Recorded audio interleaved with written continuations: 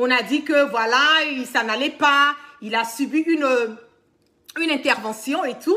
Mais voilà et tout, il est de retour. Oui, Patrick Hachi est de retour. Ça, je l'ai déjà dit, c'est du réchauffé, c'est un bis. Voilà de ce qui s'est passé dans le passé que nous tous, nous avons euh, eu connaissance de la fin tragique de Amadou Gon Koulibaly. Patrick Hachi, il faut que je le dise, était effectivement malade. Ce monsieur a eu un état de santé critique à tel point que Ouattara était obligé de mettre un vol spécialisé à la disposition de Patrick Hachi pour qu'il puisse euh, avoir, voilà, parti sur l'Europe, la France plus précisément, et avoir accès à des soins adéquats. De vous à moi, on va d'abord commencer à parler de la communication qui se passe autour de Alassane Draman Ouattara et vous allez comprendre que c'est toujours la même chose. Vous allez comprendre qu'il y a quelque chose qui est derrière la précipitation de la venue de Patrick Hachi. D'abord, vous avez remarqué que les Ivoiriens, je le dis la majorité à 90% des Ivoiriens, ne sont nullement euh, informés des déplacements, des maladies, des, euh, comment on appelle, des, euh, même des conférences, voilà, de nos différents ministres, voilà, au sein de notre pays quand ils doivent se rendre au niveau de l'étranger. Nous n'avons jamais vu depuis le gouvernement de Ouattara où nous avons eu un ministre qui était malade, où Alassane Draman Ouattara, le gouvernement Ouattara, est sorti et a pu dire la vérité aux Ivoiriens en leur disant oui, effectivement, la nuit du 1er au 2 ou du 3 au 4, nous avons notre Premier ministre, Patrick Hachi, voilà, qui a eu un état de santé. Nous sommes à 2700 personnes été faites monter le mercure. Nous avons notre Premier ministre, Patrick Hachi, qui a un état de santé très critique, dont nous étions obligés de mettre un vol spécialisé à la, disposition pardon, de Patrick Hachi pour qu'il puisse avoir accès à des soins au niveau de Paris. Nous n'avons jamais vu, nous n'avons jamais eu une information, pardon, un, communiqué venant de, de choses de Ouattara en nous disant qu'il y a un ministre qui est malade. Nous avons connu dans le cas de Amadou Gonkoulibaly, nous l'avons connu dans le cas de Ahmed Bakayoko, nous l'avons connu aussi dans le cas de euh, Aoussou et nous l'avons connu encore dans le cas de Patrick Hachi. Amadou Gonkoulibaly, ça a été la même chose. On nous a dit non, que ce monsieur partait pour des soins, euh, comment on appelle, euh, des examens, voilà, des examens médicaux au niveau de Paris. C'est ce qui nous a été dit. Jusqu'à ce qu'on fasse un cassement de papo que nous disons que non, Amadou Gonkoulibaly n'est pas allé pour des examens et que ce monsieur était dans un état de santé critique, raison pour laquelle il a été évacué. Alassane Ouattara nous a fait tomber, voilà, dans ce jeu de ping-pong, sa poudre de prélin-pépin dans les yeux des Ivoiriens, ou qui a emmené des personnes curieuses, des personnes guindées, des personnes qui n'ont rien à perdre, qui s'en foutent, qui veulent savoir la vérité et partager cette, cette vérité, pardon, avec les Ivoiriens, à appeler la pitié de sa patrie et prendre les informations sur le Premier ministre, mon Premier ministre, et je le dis, je le répète et j'insiste et je persiste là-dessus que c'est le droit de tout Ivoirien d'appeler pour prendre les informations sur l'état de santé de son Premier ministre ou l'état de santé de son président ou l'état de santé de son euh, président de l'Assemblée nationale. Quand tu travailles dans un gouvernement et que tu es malade, c'est l'argent du contribuable qui est utilisé pour pouvoir te permettre à avoir euh, accès à des soins adéquats en tant que Ivoirien, et je le dis pas forcément moi la guerre, mais tout Ivoirien, voilà, vous avez le droit et le devoir d'appeler les hôpitaux pour prendre les nouvelles de vos premiers ministres. Ne laissez jamais quelqu'un vous faire comprendre ou vous faire croire que c'est, euh, comment on appelle, invasion of privacy, je ne sais même pas comment je dis ça en français. C'est-à-dire que c'est comme si vous êtes en train de rentrer dans le côté privé de vos premiers ministres. Tant qu'ils sont premiers ministres, et que c'est l'argent du contribuable qui est utilisé pour les évacuer, même si c'est au pôle nord, au pôle sud, peu importe l'endroit, vous êtes en tant que citoyen ivoirien dans le droit et le devoir de prendre les nouvelles de votre président ou de votre premier ministre. D'abord, je vais clarifier cela. C'est ce qui m'a amené, moi, la guerre à appeler Pitié Salpatrière et prendre les nouvelles de mon premier ministre à ce temps qui était Amadou Gon Koulibaly. On a dit non, c'était pas vrai. Quand ils ont vu que la baraque est cassée, ils étaient obligés maintenant, assez de cœur sécurisé mon direct, nous sommes à 2700 personnes connectées. Ils étaient obligés de nous dire cette vérité qui était connue, qui a été cassée, ce papier qui a été cassé. Voilà, ils avaient le dos au mur, donc ils étaient obligés de, euh, comment on le dit, de confirmer les dires. Mais le problème, il est où? Le problème est que puisque les dires ont été confirmés et que là maintenant, ils doivent démontrer par A plus B que moi, la guêpe, oui, je n'ai pas les vrais renseignements. Non, c'est pas vrai parce que nous avons dit à un certain moment donné qu'effectivement, Amadou Gon était dans un état comatique. Moi, la guêpe, j'ai eu à dire ça. Chris Yapi a eu à casser ce papier aussi. On a dit non Amadou Gon Koulibaly, ça va mieux, il va bien. Voilà, il rentre, tout, tout, tout. À notre grande surprise, Amadou Gon Koulibaly a retrouvé sa terre natale. Nous étions tous choqués. Nous avons tous dit, mais attendez là. Pourquoi est-ce que Alassane Ouattara se précipite? Pourquoi est-ce que Ouattara veut forcément que Amadou Gon Koulibaly rentre Quelqu'un qui vient d'avoir accès, qui vient de subir une intervention de cette hauteur, quand on part du cœur, voilà et tout. Je ne pense pas que c'était le moment idéal, pardon, pour Amadou Gon Koulibaly de rentrer sur la Côte d'Ivoire. Mais Ouattara doit prouver. Ouattara doit sécuriser son mandat. Ouattara doit forcément mettre euh, photocopie la fiole à la tête du pays. Donc il faut forcément que Amadou Gon Koulibaly puisse rentrer pour qu'on puisse nommer. Moi, je n'appelle pas ça élire parce que nous savons très bien qu'il n'y a pas eu d'élection dans notre pays. Voilà, avec la marmaille. Donc on allait mettre Amadou Gon Koulibaly là et Amadou Gon Koulibaly allait nommer photocopie en tant que le vice-président. Je vais revenir encore vous montrer quand Amadou Gon Koulibaly est revenu de Paris, quels a été les mots, comment est-ce que ce monsieur était partagé, faites monter le mercure, partagez massivement ce direct? C'est important parce que le RHDP, les moutons, les ados moutons, ont besoin de comprendre que ce n'est plus de l'amusement et que aujourd'hui, moi, la guêpe, je sors, je fais ce direct, c'est parce que quelque part, il y a la vie de Patrick Hachi qui est à risque. Ce monsieur ne va peut-être pas sortir vous dire ça, mais je le dis qu'il a coupé de ce Grouman 5 ah, D'une seconde, on va... Amadou Gonkoulibaly est de... Do you really have any idea where your girlfriend is when she's out? Especially when she's not answering your texts and... Donne-moi une seconde. Amadou Gonkoulibaly est de retour au pied de l'échelle de coupé de ce Grouman 5 qui le ramène le chef de l'État Alassane Ouattara et son épouse venus. On va regarder, faites monter le mercure. Voici Amadou Gonkoulibaly qui est là. Abidjan après deux mois jour pour jour à Paris pour raisons médicales.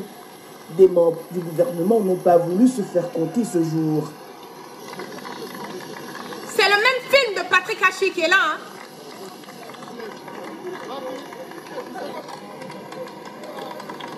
Quand Amadou Gonkoulibaly s'ouvre à la presse, ces mots sont de remerciement pour le chef de l'État. Oui, cela fait deux mois. On va revenir. Depuis le 2 mai dernier. Je vais faire euh, passer un tout petit peu. Voilà. Vous m'avez donc appelé tous les jours, matin et soir. Oui, pour vous enquérir de mon état de santé, mais également pour m'informer de l'état du pays. Oui, Monsieur le Président, vous ne pouvez pas imaginer ce que ces appels m'ont apporté. Ce que ces appels... Vous avez remarqué que même quand ce monsieur est en train de parler, vous pouvez sentir qu'il manque de souffle. Prêtez attention, je vous dis que Patrick Hachi est à risque aujourd'hui. L'état de santé de Patrick Hachi est à risque encore. Dû au fait que Ouattara veut nous prouver quelque chose, on va décortiquer ce sujet tout doucement. M'a apporté comme force et énergie pour pouvoir donc traverser donc cette période. Merci pour les cœurs, merci, pour les cœurs. Monsieur le Président.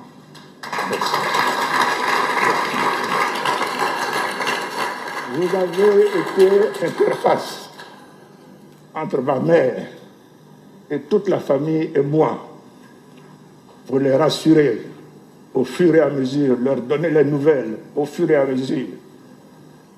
Merci. Vous avez vu comment il manquait de souffle. Merci pour les personnes qui confirment. Nous sommes 3000.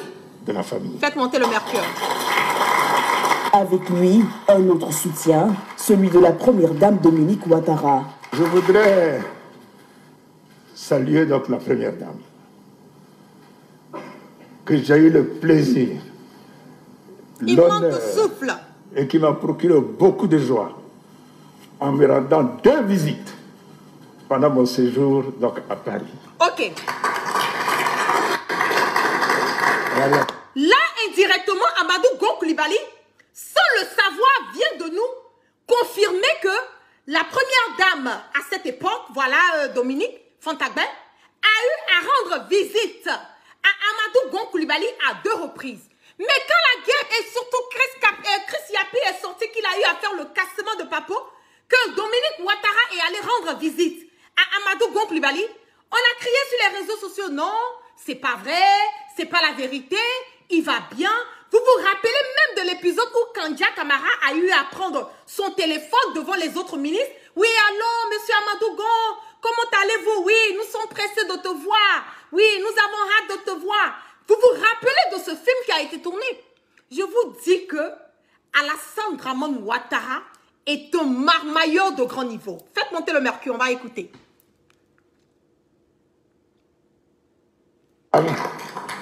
Merci. Là aussi, je me souviens de tous les mots de réconfort.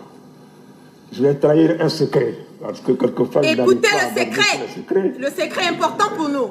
Avez dit, Amadou, quand tu retourneras, tu seras encore plus fort.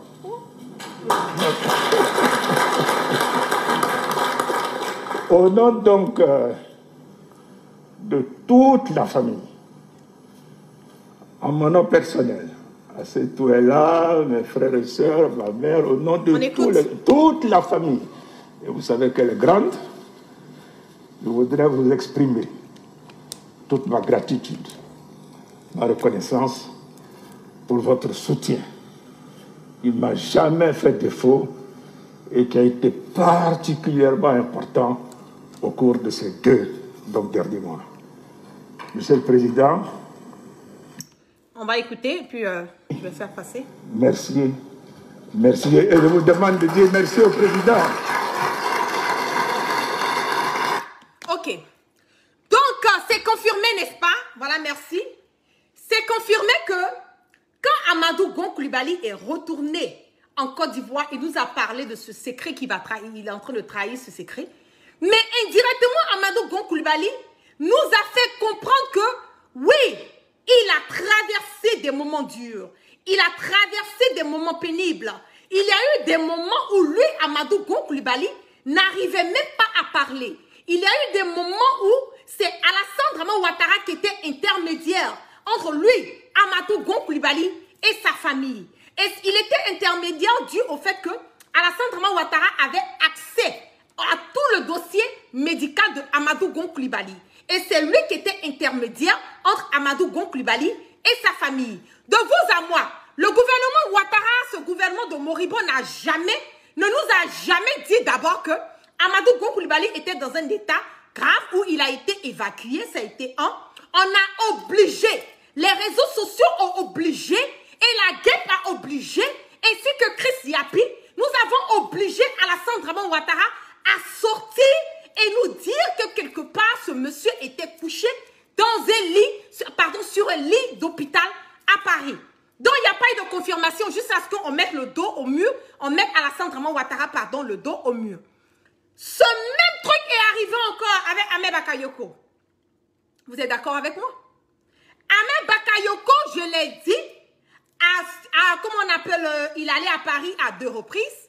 Voilà, bien avant qu'il soit euh, évacué. Quand Ahmed Bakayoko a été évacué, ils ont fait sortir un communiqué nous disant que ce monsieur a été, euh, comment on appelle, euh, il, traversait, voilà, une fatigue qui est due à tout ce qui s'est passé, les élections présidentielles, encore les campagnes, législatives qui devaient être débutées et tout. Ils ne nous ont jamais d'abord donné un communiqué en nous disant que Ahmed Bakayoko a été évacué.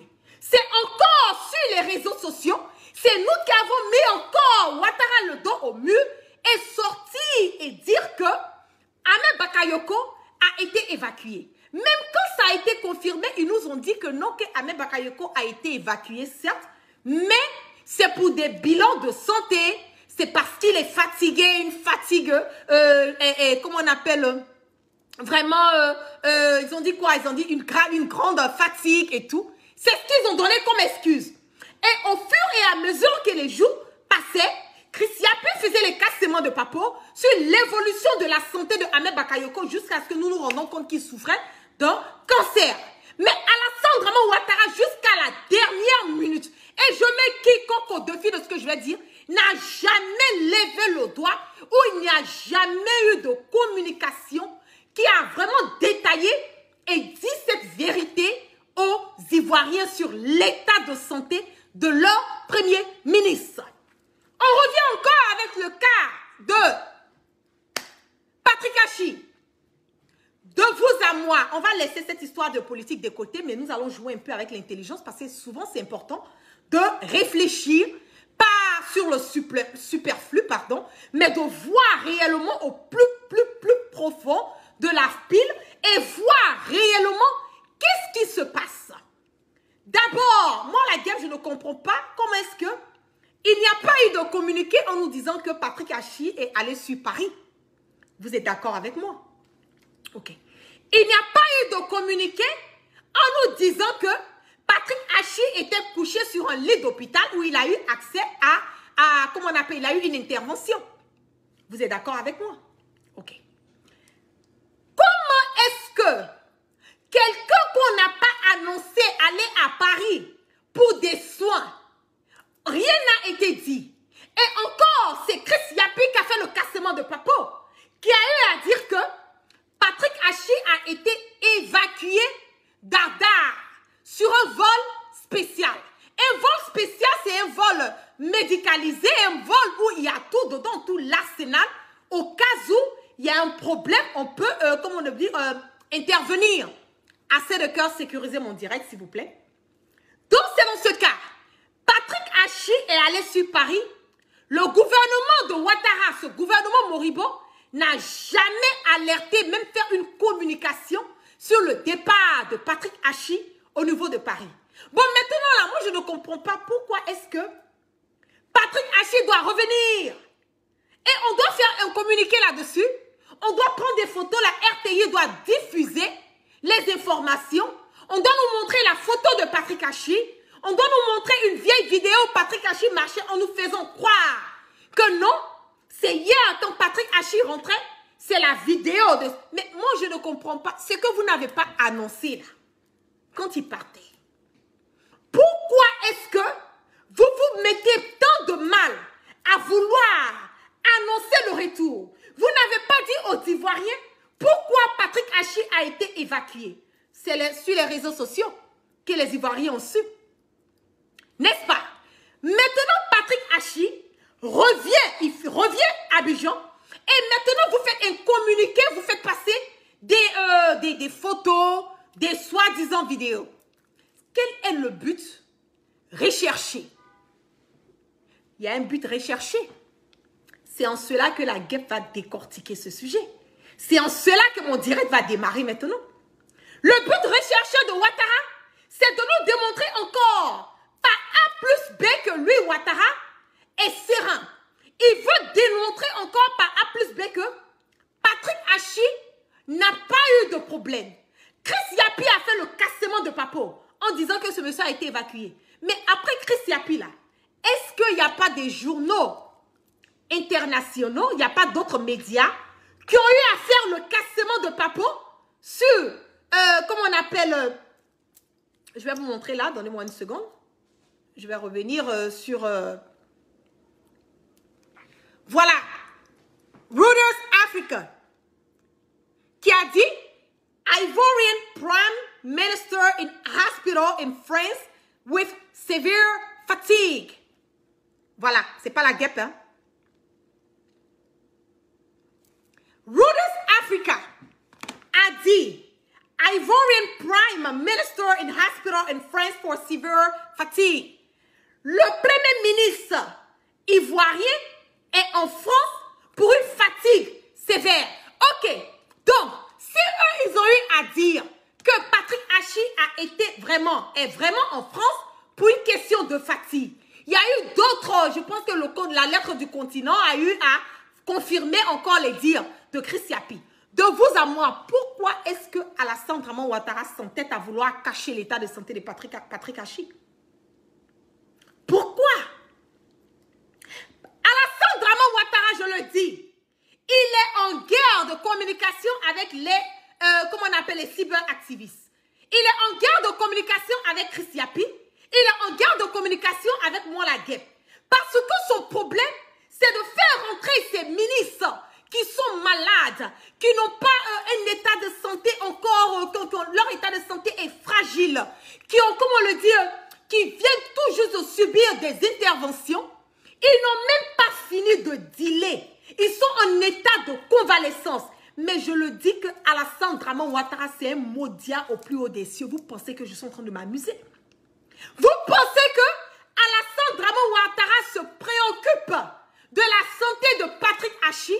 Je le dis et je le crie, j'insiste et je persiste là-dessus que Alassane Draman Ouattara n'a que dalle de la santé de Patrick Hachi. Le problème de Alassane Draman Ouattara, c'est que Patrick Hachi rentre le plus rapidement que possible pour démontrer qu'il n'y a rien eu.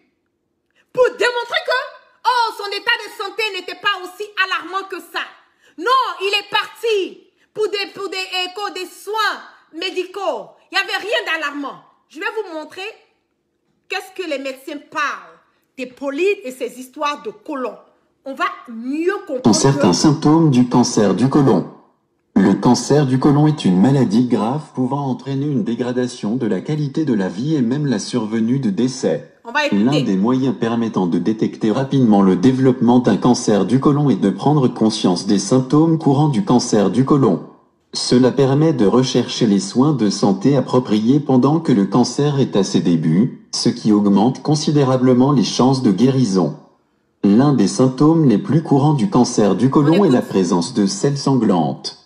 En effet, les tumeurs qui se forment dans le côlon ont tendance à saigner. Bien que la quantité de sang libérée par ce type de cancer ne soit pas prolifique, elle suffit généralement. Ok. On nous parle. Je ne suis pas en train de confirmer que Patrick Hachi a un cancer du côlon. Je ne suis pas médecin. Je n'ai pas eu accès à son dossier euh, voilà, euh, médical entièrement. Je n'ai pas eu accès. Mais selon ce qui a été dit, selon ce qui a été démontré, les saignements que Patrick Hachi a eu, qui a emmené. Parce que de vous à moi, si c'était un truc que les médecins, c'était pas un truc qui était aussi grave que ça. Nous avons des, des, hôpitaux, même si c'est des, des, comment on appelle, des cliniques privées. Voilà, au niveau de notre pays, on pouvait lui donner des, des anti-inflammatoires, voilà, tout, tout, tout et tout, pour pouvoir calmer.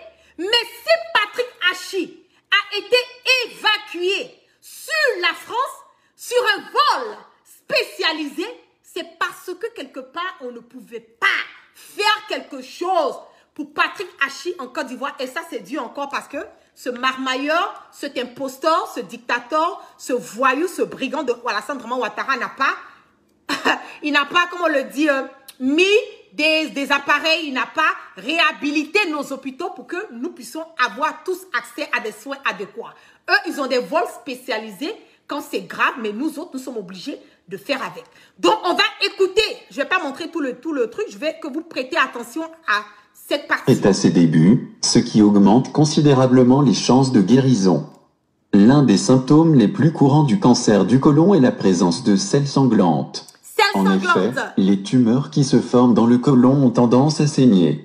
Bien que la quantité de sang libérée par ce type de cancer ne soit pas prolifique, elle suffit généralement à colorer les selles et à se retrouver dans les déchets.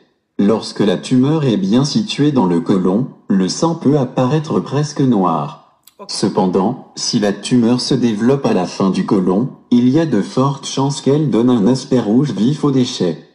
Deux symptômes du cancer du côlon qui vont parfois de pair sont une perte de poids inexplicable accompagnée d'une sensation de Donc, vous êtes d'accord avec moi que bien que ces deux si on se base sur les symptômes qui ont été euh, comment on appelle euh, euh, évoqués concernant Patrick Hachi, on doit être on doit comprendre que il n'était pas temps pour lui de revenir. Quelle a été la procédure qui a été faite sur Patrick Hachi quand il est arrivé voilà au niveau de de la clinique, euh, voilà, l'hôpital américain, voilà et tout. La coloscopie polite. On va écouter, je vais vous montrer pour que vous compreniez que c'était trop tôt pour ce monsieur de rentrer. Donnez-moi une seconde.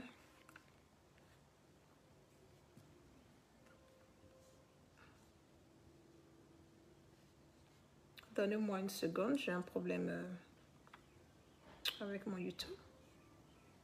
Ok, quand ça va revenir, je vais vous montrer. Donc, il était trop tôt pour Patrick Hachi de retourner. Même une simple, une simple intervention, même si on t'enlève, je vais donner un exemple très simple, un mal de dent, voilà, un truc au niveau de la dent, ou bien même au niveau du ventre, on te fait une intervention.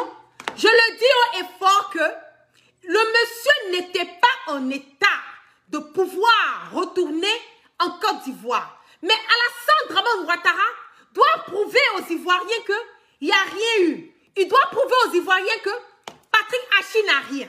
Je vais, je vais m'adresser à Patrick Hachi. Patrick Hachi, je le dis haut et fort, je pense que c'est quelqu'un que moi j'ai beaucoup de respect pour lui. Je peux dire que parmi tout le gouvernement de, de Ouattara, toutes les personnes, ses ministres tout, il fait, fait part de l'une des personnes que j'ai beaucoup de respect, voilà, parce que il faut le dire, ce monsieur est quand même diplômé, il est quand même intelligent, voilà et tout. Il mérite, voilà, la place qui lui a été donnée. Et je dis aussi, Mariatou connaît est quelqu'un aussi qui est vraiment, euh, qui est, qui mérite, voilà, le poste qui lui, qui lui a été attribué. Mais je le dis au effort que ce que M. Patrick Hachi ne comprend pas, c'est que Alassane Draman Ouattara et son fils, la Fion, ont un, on appelle, euh, une feuille de route. Leur feuille de route, c'est de démontrer par A plus B que la Côte d'Ivoire baigne. C'est de démontrer par A plus B que tout baigne, tout va bien en Côte d'Ivoire et de faire croire aux Ivoiriens que ce qu'ils voient sur les réseaux sociaux, ce n'est pas la vérité. Mais vous-même qui êtes là, même étant RHDP dans votre fond intérieur, vous savez très bien que quand Chris Yapi sort qui fait un cassement de papo, à 99,9% de chances que cette information, elle est correcte. Vous êtes d'accord avec moi Que quand moi, la gueule, je sors et que je fais un cassement de papo, à 4, Chris Yapi, j'ai 99, moi, je peux même dire 95%. Voilà. À 95% de chances, en tout cas, nos informations sont correctes, justes net, clair et limpide. Mais Alassane veut montrer, et je le dis, ça ne sert à rien pour Ouattara de vouloir tracasser. Ça ne sert à rien pour lui de mettre la vie des fils dignes de notre pays à risque parce que lui, il veut donner une image. Au niveau de l'Europe, au niveau des, des, des États-Unis, nous savons tous qui est Alassane Ouattara. Nous savons que c'est un marmailleur. Nous savons que c'est un dictateur. Nous savons que c'est un brigand. Nous savons que c'est un, comment on appelle, un, un, imposteur. Il n'a pas besoin de s'emmerder pour ça. Il n'a pas besoin. Nous le connaissons, Ouattara, sur le plan international. Aujourd'hui, même les Français se plaignent. Mais attendez-vous, les Ivoiriens, vous n'avez pas les hôpitaux chez vous. Pourquoi à chaque fois qu'il y a un de votre un premier ministre qui est malade jusqu'à trois, je peux même dire quatre premiers ministres qui ont été évacués sur Paris. Mais Ouattara n'a pas honte. Ouattara n'a pas honte. Et il y a encore des maudits jusqu'au plus haut des cieux qui sont là, qui continuent à cautionner, à supporter. Comment vous pouvez cautionner, supporter quelqu'un qui n'a même pas fait réhabiliter les hôpitaux, qui n'a même pas réhabilité nos écoles. Nous avons les problèmes d'eau, nous avons les problèmes d'électricité dans notre pays. Et on vous dit que il y a un premier ministre de, matin qui a été évacué en France pour pouvoir aller résoudre notre problème d'électricité. Mais attendez là, comment la guerre, j'entends ça là, j'ai envie de péter les plombs. Quand j'entends ça, j'ai envie de péter les plombs. Je me dis, mais attends, Ouattara se fout de l'intelligence des Ivoiriens. Ouattara se fout de l'intelligence des Ivoiriens jusqu'à ce point. Nous dire que Patrick Hachi est allé pour des soins, pour des soins médicaux. Mais moi, je veux savoir pourquoi il est allé, on ne nous a pas dit. C'est un. Pourquoi il est allé sur un vol spécial? C'est deux. Pourquoi quelqu'un qui est parti, vous n'avez pas annoncé? Pourquoi c'est son retour? C'est ce que je ne comprends pas. Pourquoi c'est le retour qui doit être annoncé? C'est parce que Ouattara veut montrer que non, que ce que l'on a dit là, ce n'est pas la vérité. Mais je le dis, c'est au risque et péril de Patrick Hachi. Il sait très bien dans quoi il s'est mis. Il sait très bien ce qu'il a. Je l'ai dit la dernière fois de mon direct que, oui, il y a eu une intervention où il a eu des saignements au niveau de l'intestin. Il a eu une intervention au niveau de ça. J'ai même voulu vous montrer, euh, voilà, qu'est-ce que les polices pour les personnes, voilà, qui ne savent pas, puissent mieux comprendre ce que je voulais vous montrer. Mais, malheureusement, euh, voilà, euh, le truc ne passe pas, mais c'est pas bien grave et tout. Donc, pour vous dire que ce monsieur n'est pas guéri. Pas du tout guéri. Et je l'ai dit dans mon dernier direct que il y a encore une autre chose qui est au-dessus de ce que Patrick Hachi, ce qui a été relevé sur les réseaux sociaux en parlant de saignement au niveau des intestins. Je vous ai dit la dernière fois que moi, la guêpe, je sais ce que c'est. Mais je ne vais pas parler de ça parce que je ne veux pas qu'on dise, ah voilà, tu es venu encore parler de son état de santé, tu as donné encore des détails. Le jour que ça va péter, comme les Ivoiriens le disent, nous allons tous savoir. Mais pour le moment, je, me ferai, voilà, je préfère ne pas dire. Mais je vous dis que il y a quelque chose d'autre qui est au-dessus de ce que Patrick Hachi a. Et s'il n'a pas pu réfléchir, qu'il n'a pas pu faire le discernement et se dire que son état de santé est primordial que son état de santé passe bien avant cette histoire de poste ministériel qu'on lui a attribué, c'est à ses risques et périls. Nous avons vu Amadou Gonkoulibaly, il est rentré, il nous a dit il va bien, il nous a dit tout va bien, il nous a dit qu'il est prêt à reprendre sa place en moins d'une semaine. Amadou Gonkoulibaly a fait un arrêt cardiaque, il est décédé. C'est de ça qu'il s'agit. Je ne prie pas pour que la même chose arrive à Patrick Hachi. Mais je le dis, quand Dieu fait quelque chose, je pense que les faits et gestes qui arrivent dans nos vies, c'est pour nous emmener à pouvoir prendre conscience. C'est pour nous emmener à pouvoir faire le discernement. C'est des éveils de conscience. Nous avons vu ce qui est arrivé à, à Patrick Hachi. Watao, c'est la même chose. On a dit non, Watao n'a rien. Non, c'est comme si, c'est comme ça. Ils ont refusé que Watao arrive aux États-Unis. Quand le monsieur est arrivé ici, c'était trop tard. On a su que les était empoisonné, il y a eu plein de trucs. On n'a pas annoncé le départ de Watao, mais quand Watao est décédé, automatiquement, ils ont délégué des généraux qui se sont déplacés d'Abidjan jusqu'aux États-Unis pour empêcher qu'on puisse faire une autopsie sur le corps de Watao. Je vous dis que Alassane Drama Ouattara ne va jamais finir avec sa marmaille. Il ne va jamais finir avec sa marmaille. Patrick Hachi est rentré. Oui, le fait que Patrick Hachi est de retour ne veut pas dire que Chris Yapi a menti. Pour des personnes intelligentes, quand même, vous pouvez faire le discernement. Le fait que Patrick Hachi est rentré ne veut pas dire que la guêpe a menti. Non. Le fait que Patrick Hachi est rentré ne veut pas dire que tous les, journaux, voilà, les, réseaux sociaux, ceux qui ont eu à, on appelle, à partager cette information, ont menti. Non, c'est la pure, pure vérité. Patrick Hachi était pas dans un bon état.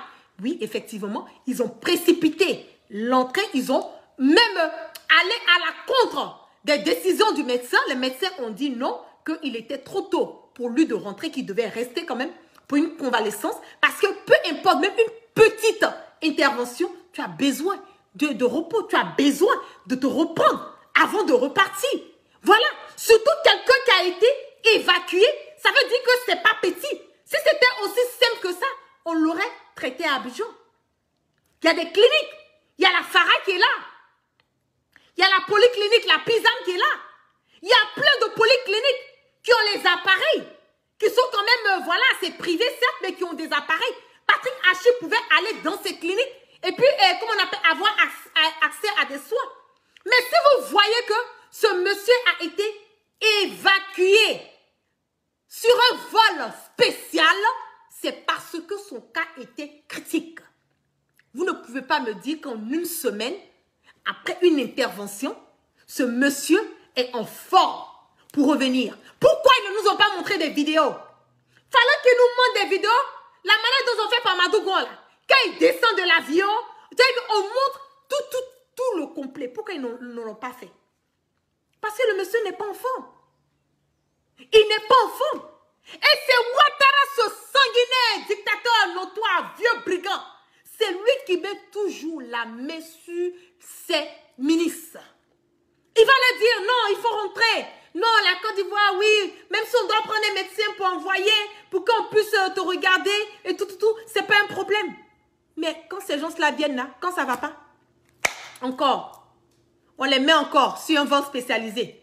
Et c'est l'argent du contribuable.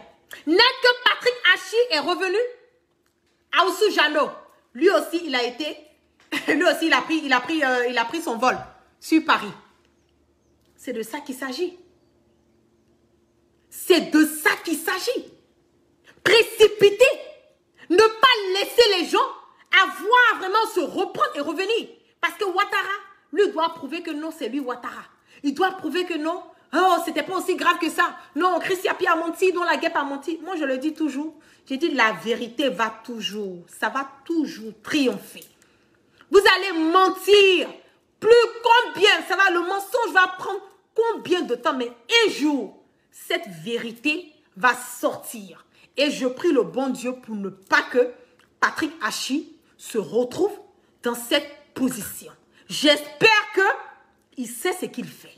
J'espère que il a pesé les pour et les contre. Parce que moi, la guêpe là, même si tu me nommes Premier ministre des États-Unis ici, vice-président, vice-président des États-Unis, et que moi j'ai un état de santé où les médecins me disent de ne pas partir, ils me disent d'attendre, ils me disent de, comment on appelle, j'ai besoin d'un moment de convalescence et tout, et puis continuer à faire des examens pour mieux approfondir. Vous pensez que moi, la guerre, je vais me lever dans mon papatoya, mon jairia, pour dire non, voilà, je dois partir, euh, euh, euh, diriger le pays. Mais ceux qui dirigent le pays, ce sont les êtres humains qui dirigent.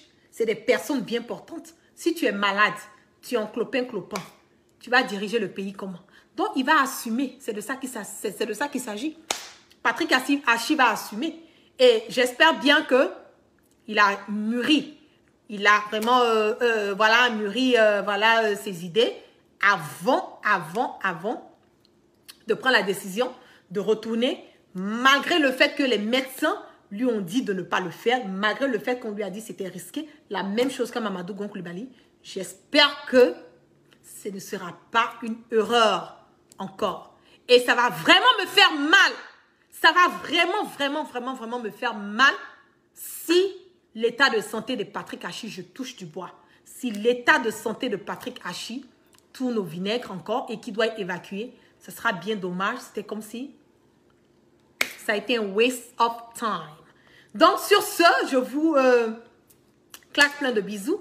Merci à toutes les personnes qui sont restées connectées avec moi. Que la grâce de Dieu soit sur tout un chacun et que Dieu, dans sa miséricorde, pardonne toujours nos péchés qui nous amène le sens du discernement.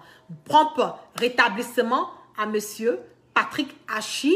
Vraiment, euh, je te souhaite tout le meilleur. Voilà, que Dieu puisse te relever. Vraiment et tout. Je le dis tous les jours.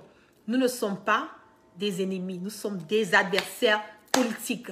Prompt rétablissement à toi mais j'espère que tu vas vraiment prendre soin de toi et que tu ne vas pas attendre, je touche du bois, à la dernière minute si quelque chose ne va pas. J'espère que tu vas retourner, voilà, euh, avoir accès. Il a besoin de se reposer, il a besoin. Et je le dis que il n'est pas guéri. C'est ça qui me fait mal. c'est le fait que ce monsieur n'est pas encore guéri. Il n'est pas guéri. S'il me regarde, il sait de quoi je parle. Je le dis, je ne vais pas, je vais pas euh, rentrer dans les détails de son état de truc euh, de, santé. Mais Patrick Hachi sait dans son fond intérieur que il est trop tôt pour lui de rentrer. Mais il doit faire plaisir au maître. Voilà le pharaon Ouattara. Celui qu'on doit faire plaisir quand tu vas à gauche et que lui part à droite, c'est un problème. Donc quand Ouattara dit de sauter, tu lui demandes de sauter à quelle hauteur. Quand tu lui dis de te coucher, tu lui demandes de me coucher jusqu'à jusqu'à quel point. C'est de ça qu'il s'agit. C'est un dictateur. Ouattara, c'est un dictateur. C'est un vieux, c'est un brigand. Je le dis, c'est un jeune brigand qui est devenu, qui a vieilli, qui est toujours un vieux brigand. C'est de ça qu'il s'agit. C'est dommage, mais j'espère que la Côte d'Ivoire, nous n'allons pas revivre encore. Voilà ce que nous avons connu euh, en si peu de temps. Voilà, on a fini on a pleuré à Madougon, on n'a même pas fini de pleurer à Bakayoko. On nous parle de Patrick Hachi, voilà, qui, qui, qui, est malade. Voilà, Osu Jano, qui est reparti encore euh, la France, voilà et tout. Amadou Soumaoro, qui est en Turquie, qui est malade. Vous voyez, c'est trop de choses. Voilà, c'est trop de choses. Trop, trop, trop de choses. Et vraiment, la Côte d'Ivoire, je le dis, ça part de mal en pire. Nous, on a dit ce qu'on a eu à faire. Mon chéri Coco Chris Yapi, que je... Euh, mon chéri Coco Chris Yapi, c'est mon mari, hein, Chris Yapi. il sait pas encore. Lui aussi, il a fait son cassement de papou. Ah mais il a fait.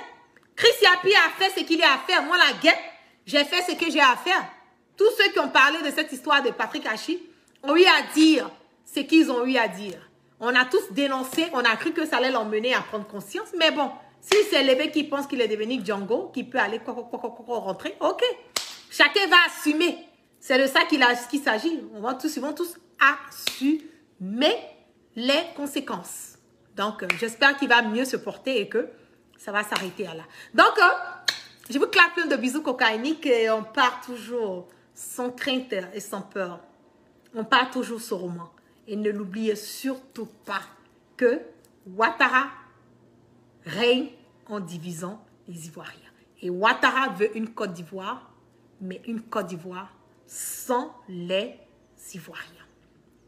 C'est de ça qu'il s'agit. Peace and love, excellent week-end à tous et puis euh, que la barricade de Allah soit sur tout temps chacun. Peace and love.